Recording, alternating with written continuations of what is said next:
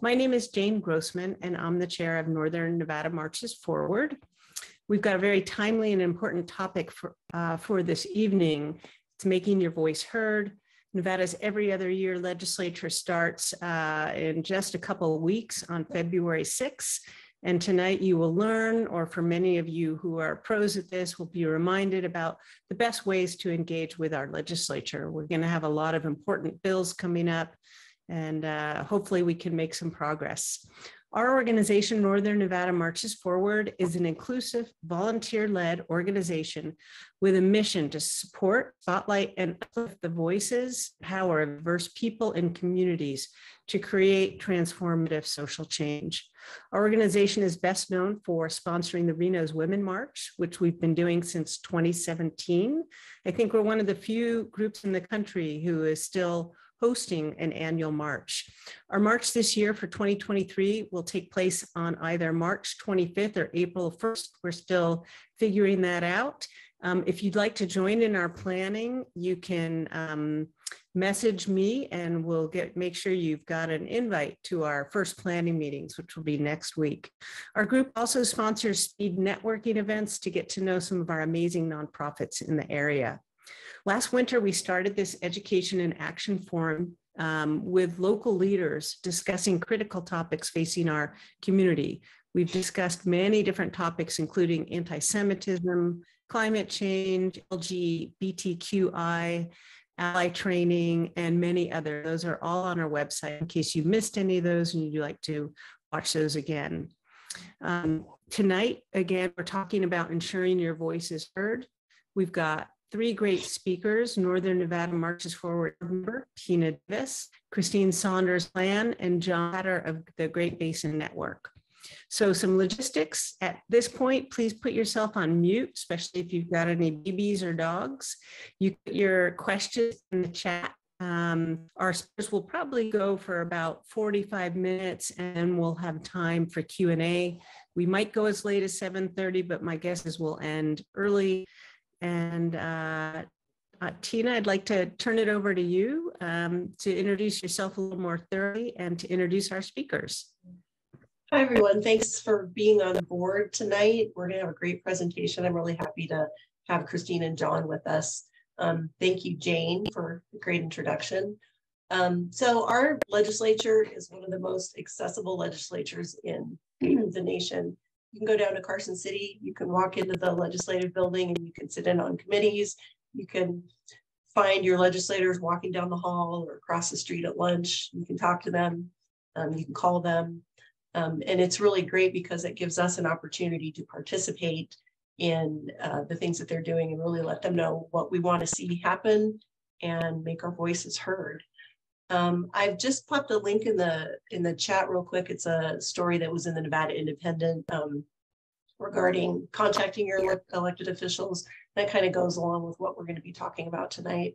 Um, that's another way that you can uh, make your voice heard. And um, so one of the, the, the, first thing I'm going to do is um, talk about NELIS. It's the Nevada Electronic um, Legislative uh, Information System. And one second here, let me get this bigger. So if you're not familiar with this, this is where all of the bills, um, legislators, uh, legislation that happens during each session is managed from. And up here, you can see where it says welcome. This is where you can you can um, create your own sign-in and uh, your own legislative password. And then you can track, you can sign up for tracking um, this will tell you how to do, how to, how to track bills, how to track your legislators. What we're gonna do first of all is go over here to the 82nd session. And this is where you can find any bill that you're looking for. If you're looking for an assembly bill, if you're looking for a Senate bill, you can, I'm just gonna pull this one up um, just as an example. When it pulls, when it comes up, it gives you an overview. You can pull up the bill text and you can see exactly what it's all about, who wrote it, that there's you know fiscal notes. It'll give you all the information about it. Um, as the session goes through and it goes through committees and votes and etc.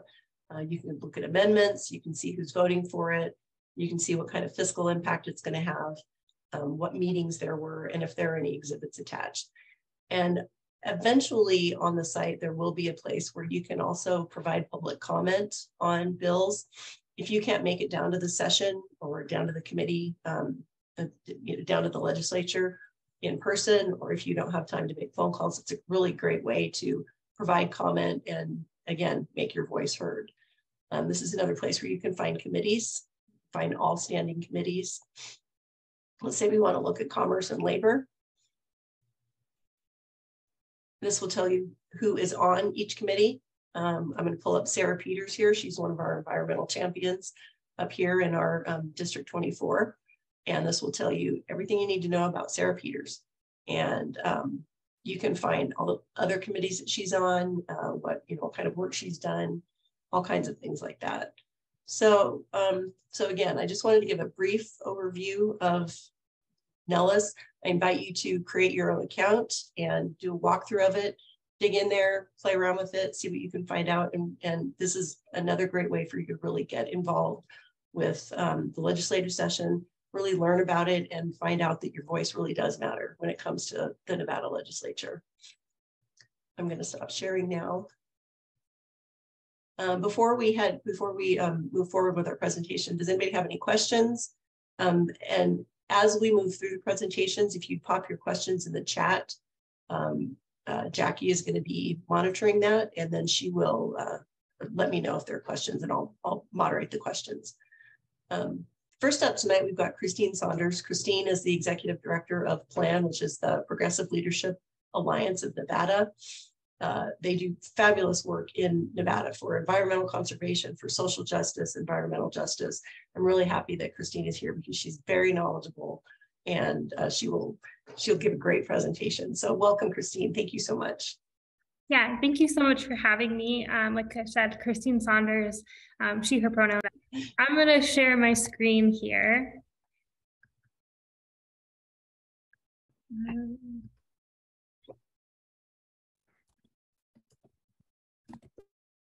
Can everybody see that? Yes. Yes. Um, I cannot see the chat uh, while I'm here, but I'd be happy to answer any questions um, once I get through kind of the presentation. Um, but like folks said again, I'm Christine Saunders. I'm the policy director with PLAN. Um, I have been here about five years now. Um, prior to working in Nevada, I also worked on legislative um, policies in Oregon and in Colorado with organizations like the Fair Shot for All Coalition and 9 to 5, um, the National Association for Working Women. Um, I really wanted to kind of give a, a very basic concept of lobbying and talking about why are we lobbying. And I know folks are here because uh, you care about doing this and are interested in doing this, but I think it's important to remember that legislators work for us. Um, and being able to lobby is a part of the democratic process. And like Tina said, Nevada has one of the most accessible legislatures that I have ever participated in.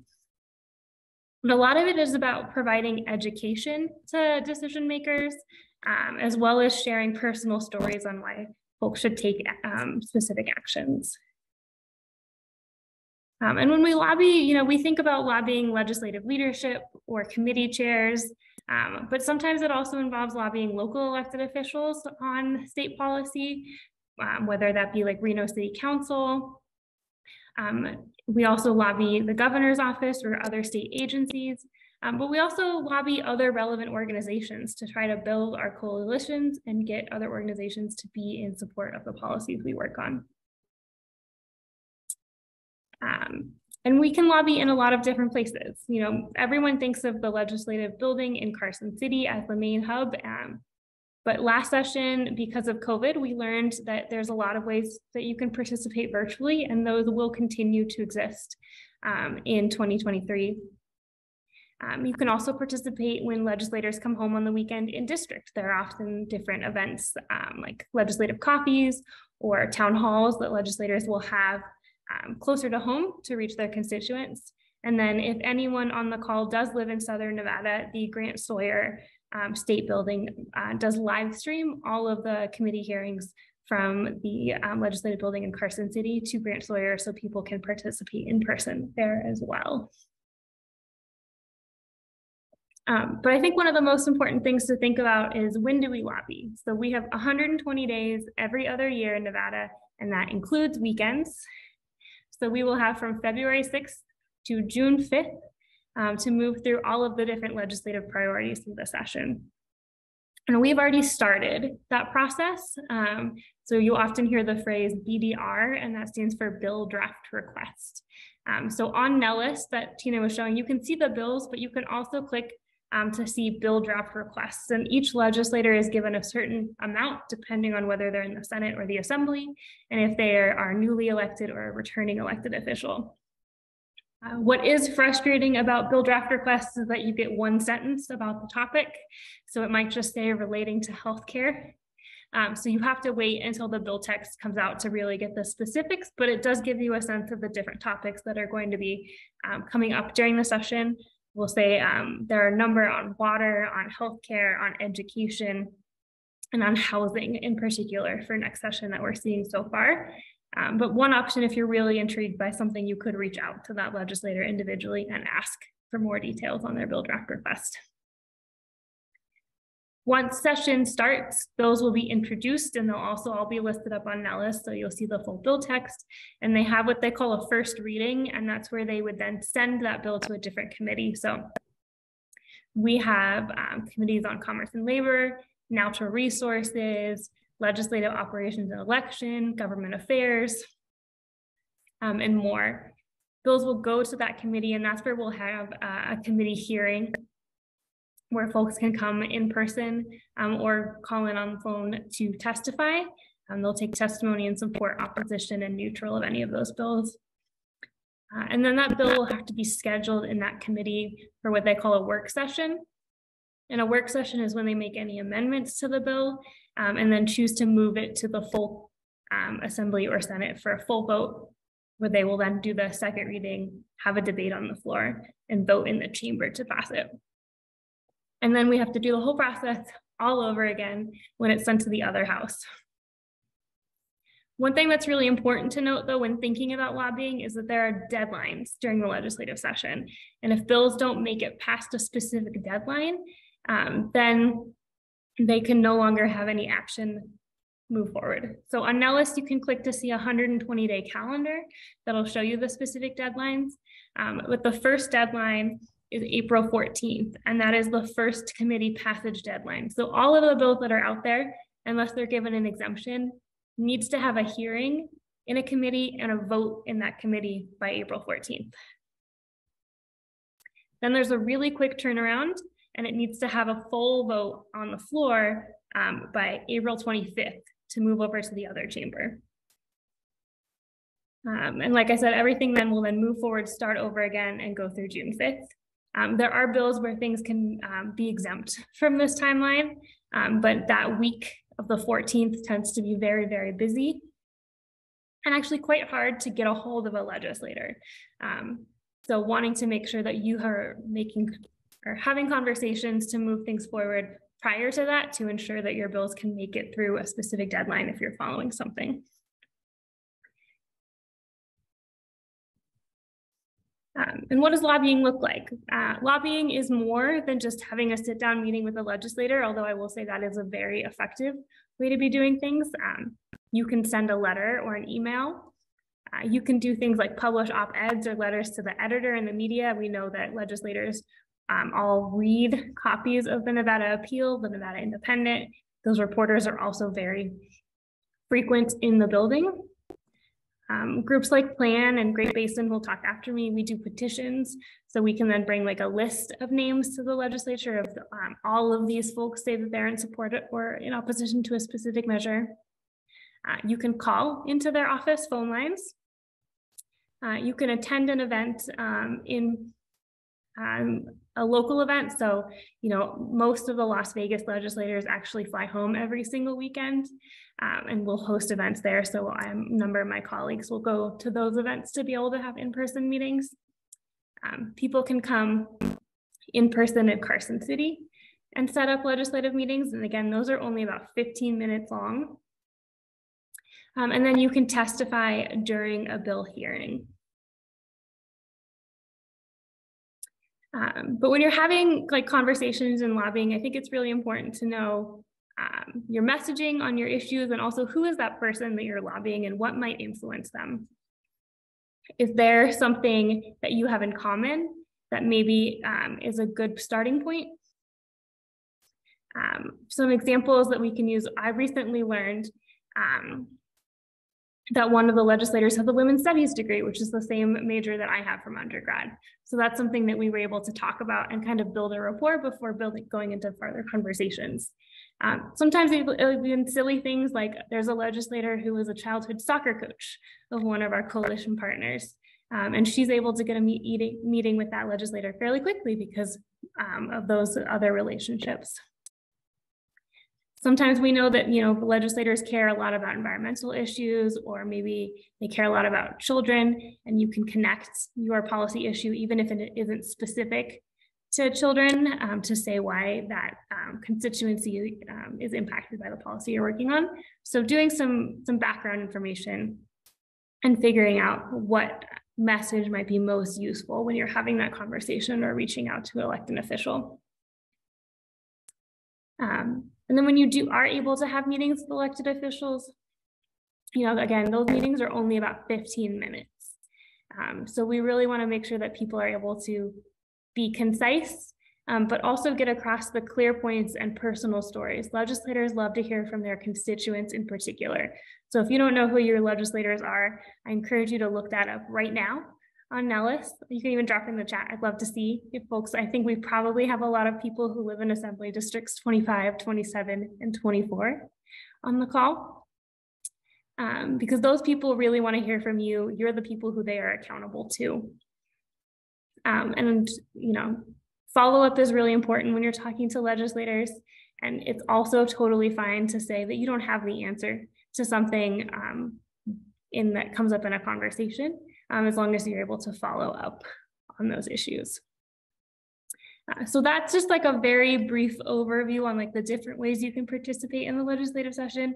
Um, but I would be happy to take any questions about like, the legislative process, other ways to participate, or if folks are really interested in knowing about specific legislators um, or committees that we know are out there. Because I know that the legislature looks a little different this time around than we've seen in previous sessions. But I will stop sharing my screen here.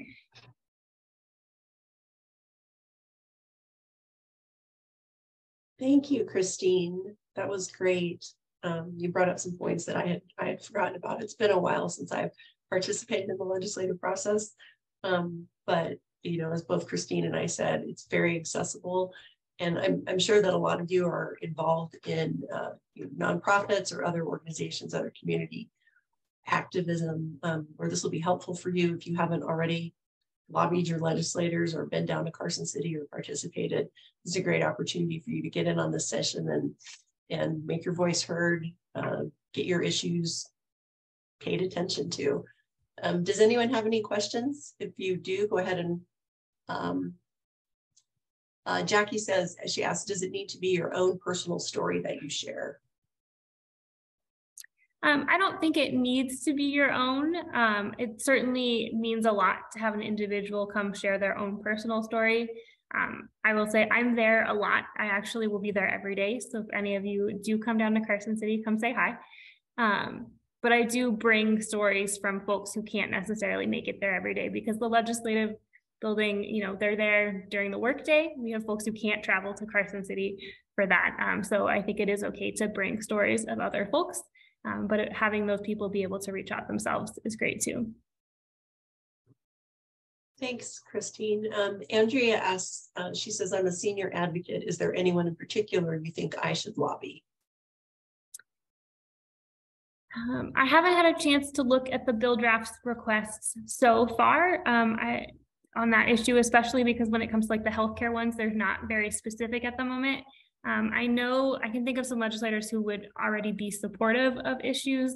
Um, I know Assemblywoman Summers Armstrong has some bills about um, healthcare facilities because she has a number in her district. Um, and that there are a number of senior advocates who are really interested in um, housing issues at the moment. Um, and I think on housing issues, talking to anyone right now is important. Right, right. I would also say that I think um, just contacting your own legislator, whether it's your assembly person or your or your your senator, um, and bringing the issue to their attention, they may not be aware of it, or it might not be something that they really um, thought about. But bring it to their attention, and they can either help you figure out a way to have it addressed, or they can direct you to somebody who's already involved in that in that same issue. Uh, Jane asks, is it worth worth it to contact legislators who are not your official representative? I've heard some legislators won't meet with you if you're not in their district. What do you know about that, Christine? Uh, so legislators will certainly prioritize people who live in their districts. Um, if you are reaching out to people who are not your elected official, um, that does start to fall in line with the state's um, registered lobbyist requirements. Um, I do think there is an unpaid lobbyist registration um, for not that much money. Um, but when you're meeting with people who are not your own elected official, then you need to start reporting that some of that information to the state. Right. Okay, it looks like that's all the questions we've got for um, Christine. Thank you again, Christine. That was a great presentation. Uh, next up, we have John Hadder. John is the director of Great Basin Resource Watch and uh, their group uh, monitors mining activity and water issues in our state and tries to keep the you know mining entities um, in line with our environmental concerns. Sometimes not always successful, but but always working hard at it. Um, uh, John, go ahead and take yourself off mute and say hello. Uh, good evening, everybody. Um, and um, I think um, well, uh, Tina, you have the presentation. We don't have to start it just yet, but I'll say a little bit uh, first uh, about my organization and myself. Um, um, our organization is Great Basin Resource Watch, as Tina mentioned. We are, I call our, I call our work environmental, environmental justice, because our mission is we work with communities uh, directly affect their um, land, air, and water by mining. That's the, I guess we can kind of start the I've got a few slides, not very many, so we can start the first one if Okay. you want to do that. Um, gives our gives our shows our our mission there. People can see it. Okay, yeah, that's our little our logo. There is the bristlecone. Um, and uh, by the way, that's a that bristlecone was created by a local artist here in Reno. Um, I saw this uh, drawing that she made number uh, a number of years ago, and I said, "Wow, that is what we do because the mining industry is a is a pretty formidable force in in Nevada and so we have to stand strong um, a little bit about how I got into this work uh, I mean I do um, my background is is largely technical I teach chemistry and math as well at the community college occasionally um, sometimes environmental science when they need somebody for that that's um, and I I got involved in um, community work uh, was large. My trigger, the trigger for me was going down to the Nevada test site and um, being there and the place that was directly affected. So I think that's a key to any issue that we work on is to try to connect people to where what's being affected directly. I mean, going to going to where um, uh, you know the impact is occurring the effect is the best, but we can't do that in lobbying. So we have to somehow try to bring um, the people that we're talking to, the legislators, into that space uh, as best as best as we can. But that's what really kind of got me, and it moved me in the direction of science and the public interest, and um, and that was kind of a turning point. And I think that that's something to reflect on in your own um, in your own self. What what what were turning points for you? And uh, these may also be uh, turning these and all and these may also connect to uh, uh, where legislators what because what we're trying to do in some cases is we're trying to get a legislator to see a point of view or maybe even you know change their point of view so um, that background research on the legislators and what's important to them uh, to help um, to help them to guide them through this process so reflecting on um, what things have changed you to this to the issue that you're working on what got your attention is an important part of it as well um, because you are part of the the you know the, the vehicle um, uh, in, in the process. Um, and in our in our work, um, it became very clear, become very clear how important it is that we do connect with the people who are directly affected um, by whatever it is we're lobbying on.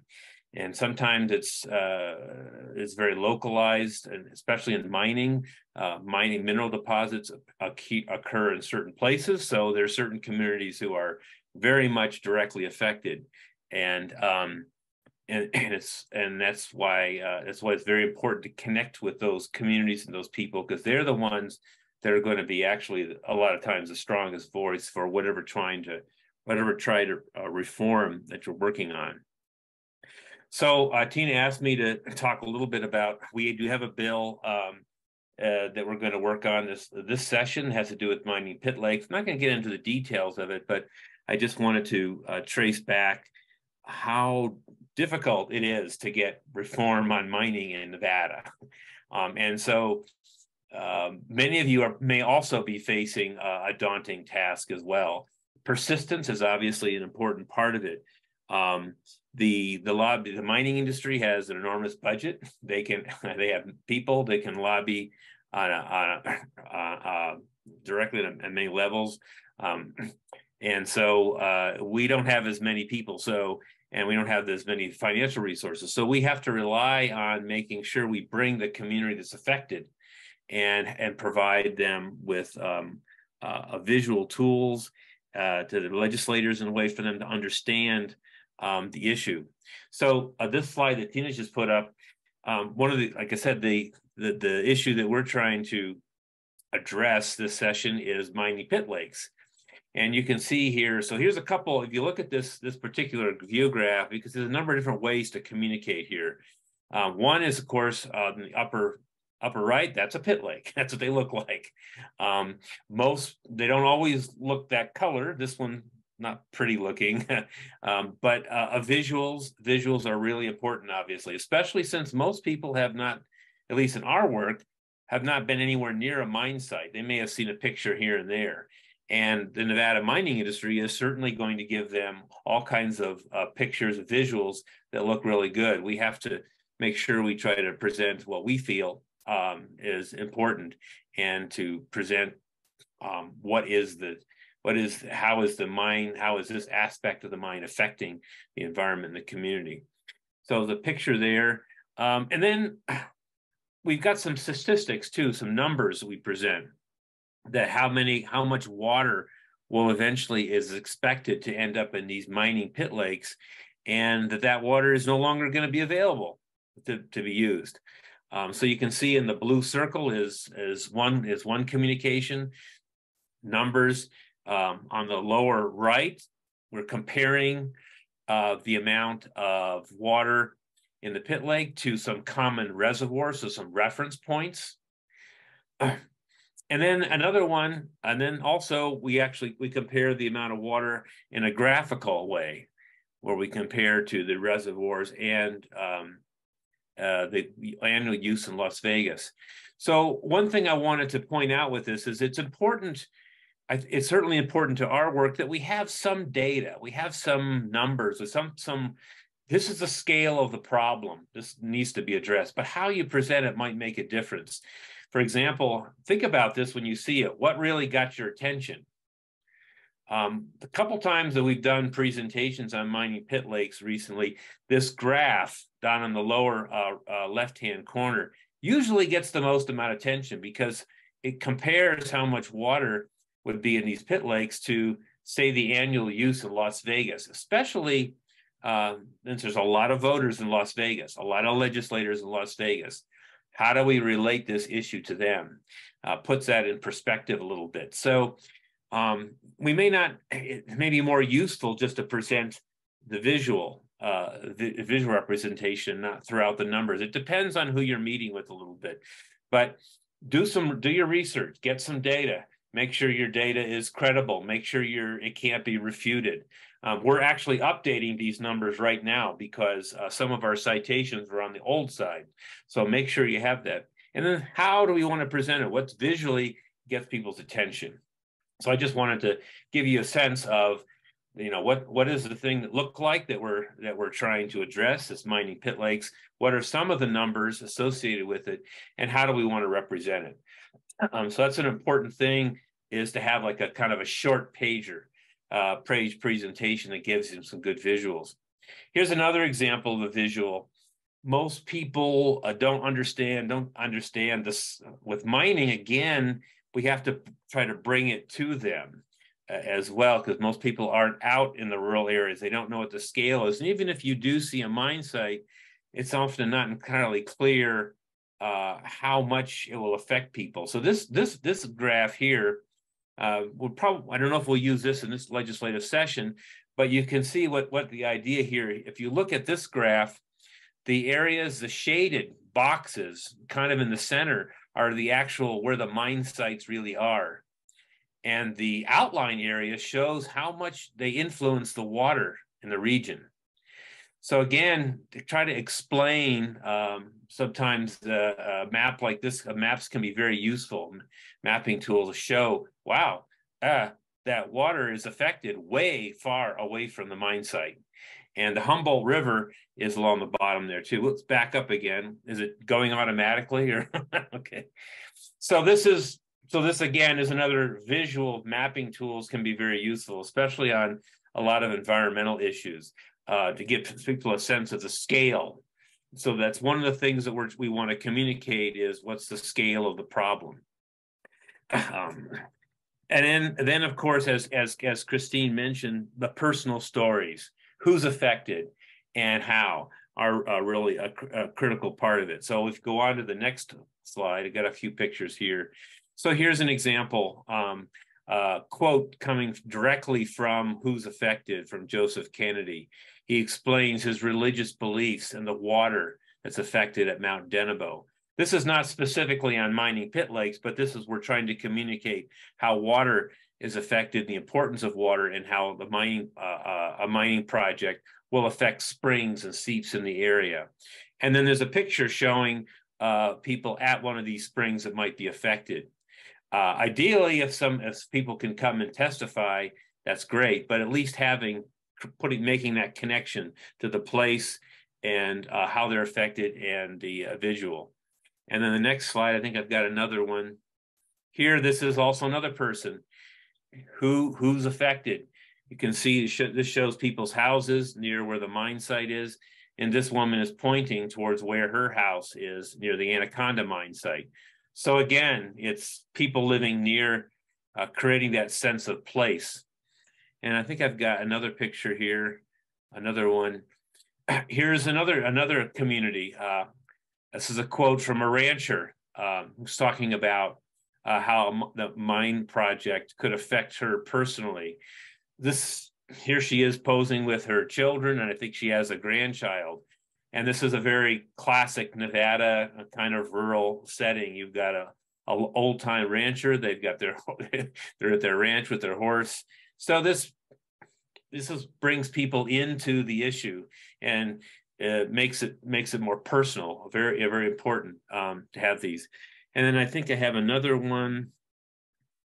And then also sometimes there's images like this that give people a sense of what has happened, the effect, the effect. Again, here we're showing a before and after. It, it's this is all part of bringing bringing people to the place uh, that's affected. And we have a couple. We have a quote here from uh, Carrie Dann that puts it in perspective. So I just wanted to show you a couple, you know, visually bringing people into the place. Again, with our work, it's really important that people understand that because so many people live in the urban environment, don't live near a mine, don't really understand um, how it can affect and, and get and, and visually and how it affects them personally. And so it's very important to, to personalize it because that's the one thing that the um, that's the one thing that we have at our advantage in our work always make sure we always try to make sure that those voices are what people hear the what's going to convince the legislator more than me talking to him is hearing uh, Carrie Dann, is hearing Joseph Kennedy, is hearing Carolyn Bailey, is hearing the people that are affected. And if they can't be at the legislature, then the next best thing is uh, good quotes and images. Uh, we you can even do possibly one thing that's a, a good process also is to go out and do some video footage. Grab you know, have have interview people talking about how they're affected. That's that's they have time to do that. Um, so those are all um, uh, critical aspects and things that we're going to be working on in the legislature is again take home message here is bring it home make it personal. Bring bring the legislator to the issue into the issue take them there uh, tell tell your stories uh, and that stories are best told by the people who are, are directly affected. And that's kind of um, that's kind of how we're going to that's how that's how we're going to approach uh, approach this work make it a personal connection. And um, that's all pretty much ahead uh, for tonight but that's kind of how we try to take on the mining industry is to is to make that personal connection bring it into people. Um, some data is important uh, but uh, you can overwhelm people with data so connect them, connect the, the data, make sure it's well um, represented so it's visually makes sense. People get a sense of scale, and then um, you know bring in the directly affected community people. How are they? How are they affected? And um, how is that? How does that translate to what the legislators' own personal, maybe their own personal experience is? So, doing some research on legislators, what what's what what's what what uh, what's of their interest, what things might turn their attention, um, is all part of it. Strategize um, on an individual basis. So I'll stop there. All right, thank you, John. That was a great presentation and really um, kind of drives home how you know how how to get the attention of your legislator and how to show them what you're what show them what you're really talking about and what you want them to see. Uh, does anybody have any questions for John pertaining to either Great Basin Resource Watch or their lobbying efforts or lobbying in general, legislative participation? Um, you know, while we're waiting for any questions, one thing I want to say is, you know, a lot of times we might think that um, legislators are, you know, a different level of person. and um, really they're they're people like like you and me. They have regular jobs in the off session they, you know, Sarah Peters is an environmental engineer. Um, uh, Teresa Benitez Thompson, she's um, no longer with the assembly, but she was a social worker. The regular people who live in our community, who are our neighbors and our friends. And as I said before, they're very accessible. They want to know what issues matter to their constituents and everybody in Nevada so that they can legislate, so that they can do the job that they were hired to do, that they were elected to do. Um, so, you know, it's really important for us to, to, to tell them what we want them to do, to tell them what's important to us, what we want to see, the changes that we want to see in our state um, and our state laws. Um, uh, John, what is the bill number? Uh, Lois was Lois is asking about that. Oh yes, the uh, the bill number, uh, the BDR BDR mm-hmm. number. I'm trying to remember it off. The, I don't remember it off the top of my head. I was just looking for that. Let me see if I can find it. Uh, I thought we had it in our notes, but I know we had it somewhere. But well, John is looking for that. Uh, Veronica asked a great question. Um, and uh, Christine, you may know some of this. Uh, you know, John, and both of your presentations were outstanding. So thank you so much. So much great information, and I love the specificity, John, of um, the graphs and different ways to present critical data. And Veronica is also very impressed with that and is wondering where can we get those kind of numbers and facts for other issues like women's issues, healthcare, and um, Christine, do you have some ideas of where people might go to as they're putting together their information to go lobby?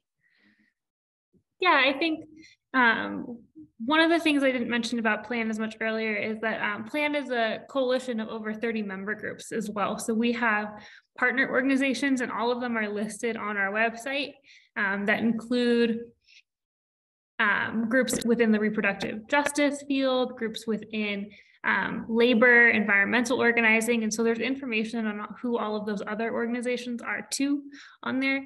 Um, one of the things we always talk about um, when it comes to engaging in the legislative session and as an activist, it's always really great to find your organizing home.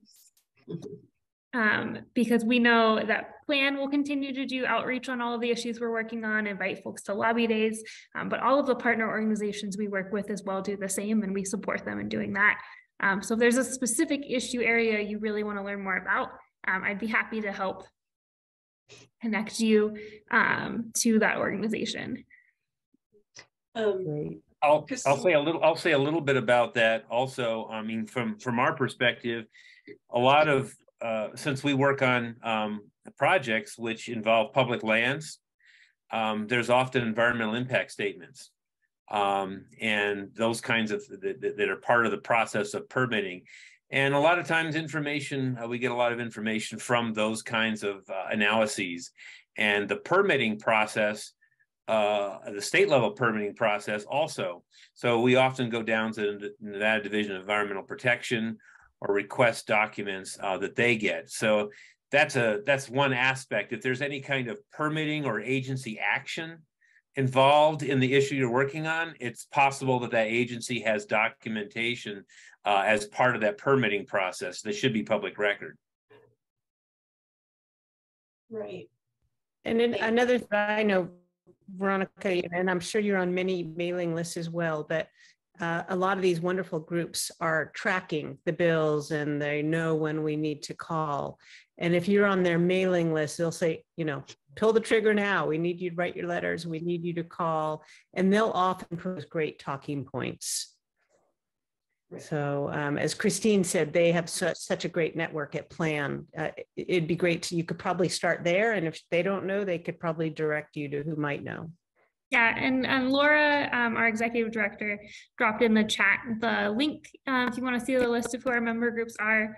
Uh, and our website also has, you can sign up for our email list. So we'll send updates about different legislative topics and um, action alerts when there are things moving. But we also have a community calendar. So we try to keep that updated with all of the events that we're also hearing about from other partners um, available. Thank you, Christine. Um, Jackie is asking, can you share some of the biggest issues we're going to be seeing in our legislative session this year?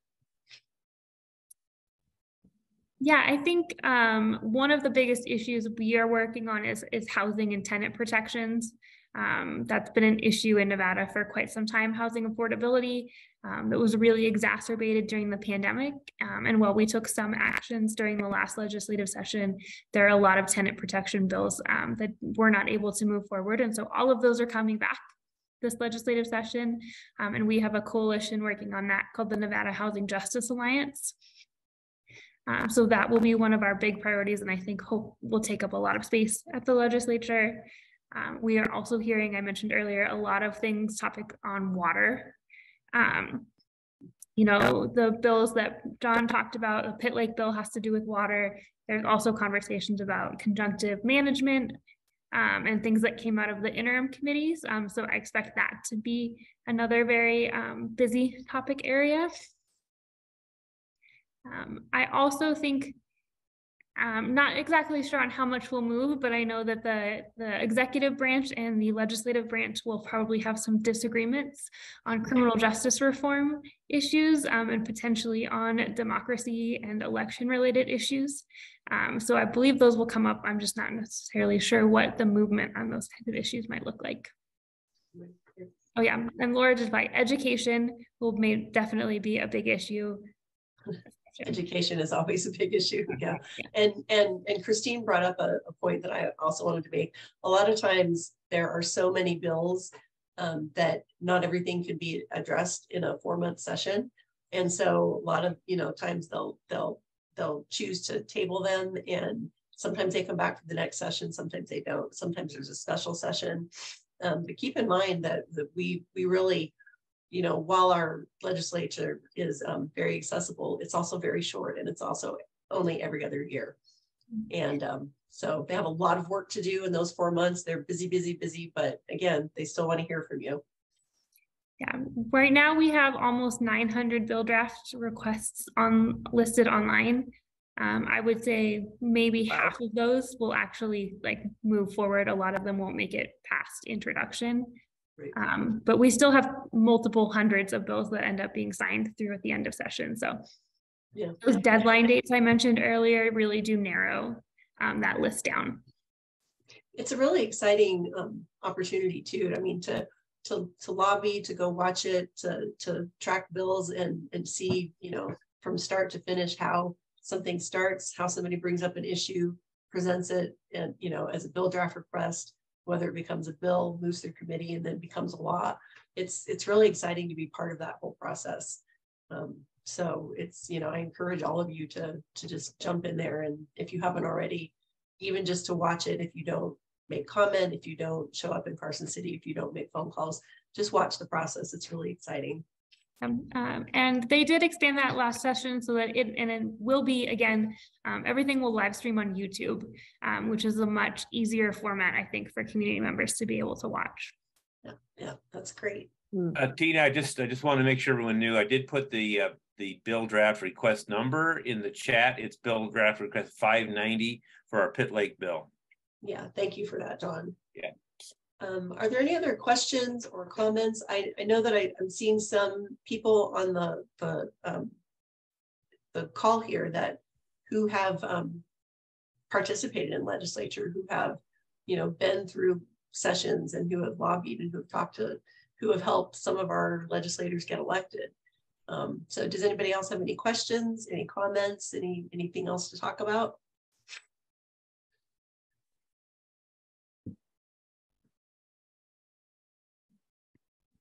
All righty, well, it looks like we might There's- be ready to, oh, is there, There's, uh, I know Sarah's on the line and I believe the Washoe Dems are doing another training also. If you guys need more information and the Nevada Women's Lobby is also doing something. So we have some fabulous groups in Nevada that really want us to get engaged. And as Tina and John and Christine have mentioned, uh, our legislature is so accessible.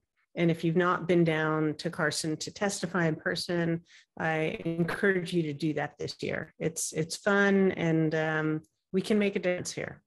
So find your issues and or issue and and go be a, a voice to get that across the finish line. absolutely, thank you, Jane. Uh, Sarah says their Washoe Dems, um, Washoe Democratic Party are hosting on January twenty-first in person at Washoe Dems headquarters, which is just down, just across the street from the airport. And, and across the street from Plan. Right, right. Washoe Dems and Plan are right next to each And on- other. Um, I also just dropped my email um, in the chat and I um, know that the presentation I shared, um, will make sure that that can be shared out to folks afterwards. So feel free um, to reach out to me if there are any questions that come up um, after tonight. All right, thank you, Christine. And reach out to John too. I know he's always looking for people to get involved in the mining and water issues. And as we all know, water is a huge issue in Nevada. We never have enough of it. We always need more. So, um, uh, all right, well, it looks like we might be ending a little bit early tonight. I want to thank everybody for coming. We really appreciate your involvement in our education and action series um, and your interest in getting involved in Nevada, in your community, helping your neighbors and your friends and your family to um, have a great, strong state and uh, to address all the issues that we care about. Um, thanks again, Christine and John. And um, I hope everybody has a great evening. You, glad to be here. Tina, I just want to close with one. more Ah, to ahead. Thank John, Christine and Tina. And um, for those of you who are still here, we are volunteer led. Uh, If you feel inspired to make a donation to Nevada Marches Forward, we can use funds to help us with the Women's March and to keep these month sessions kind of big budget, but a little budget helps us do a lot of different things. And if you're interested in getting involved with the Women's March, we put a link there. Um, next month, our session is going to be talking about our unhoused neighbors. And we've got some great speakers and we will also be talking about, we'll probably know some of the bills at that time, addressing homelessness, addressing housing affordability. So it'll be a great session. It will be on February 21st. And um, wishing everybody a great night. Tina, thank you much for putting this together. Jackie, who is retiring from our group, thank you for hosting this. I wasn't sure I could launch it from here. I'm on a vacation, but it's great to see all of you. And we'll see you in Carson or our next meeting or the March or somewhere. We love that Reno's so and we run into each other. And thanks again to our speakers. This was great. Have a great night, everybody. Thank you, everyone. Good night.